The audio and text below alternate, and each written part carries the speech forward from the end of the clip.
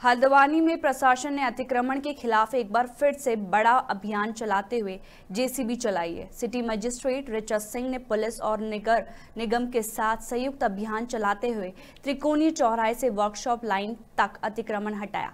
साथ ही अतिक्रमण करते हुए सड़क पर लगाए गए ठेलों को जब्त भी किया। है सड़क पर अतिक्रमण किए गए दर्जनों दुकानों का चालान किया गया है। अतिक्रमण हटाने की कार्रवाई के दौरान व्यापारियों की प्रशासन के साथ नोकझोंक भी हुई। सिटी मजिस्ट्रेट रिचा सिंह ने कहा कि त्यौहारी सीज़न में लगातार जाम की स्थिति को देखते हुए अतिक्रमण हटाओ अभियान चलाया जा रहा है। जो भी सड़कों पर अतिक्रमण कर रहे हैं, उन्हें चेतावनी दी जा रही है और यह अभियान लगातार जारी होगा।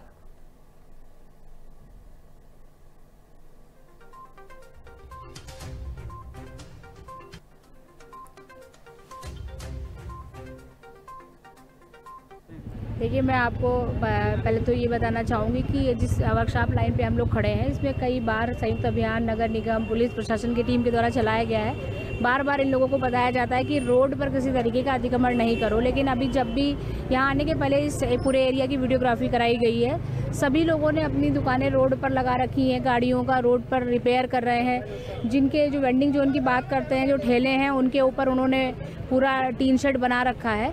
तो ऐसे सभी अतिक्रमण, जो यहाँ पे अतिक्रमणकारी हैं, उन पर कार्रवाई की गई है और आज इसमें इनका चालान जो है, कड़ा किया गया है। इसके साथ ही जितना भी इनका अतिक्रमण पक्का था उस सभी निर्माण को यहाँ पर ध्वस्त किया गया है और ये सख्त चेतावनी इनको दी जा रही है कि अगर इन्होंने भविष्य में इस रोड पर दोबारा अतिक्रमण किया तो इनकी दुकान भी सील की जाएगी। कहीं ना कहीं अपराधी देखिए मैं आपको स्पष्ट बताना चाहूँगी कि किसी भी तरीके के दबाव में कहीं प्रशासन कार्य नहीं कर रहा है।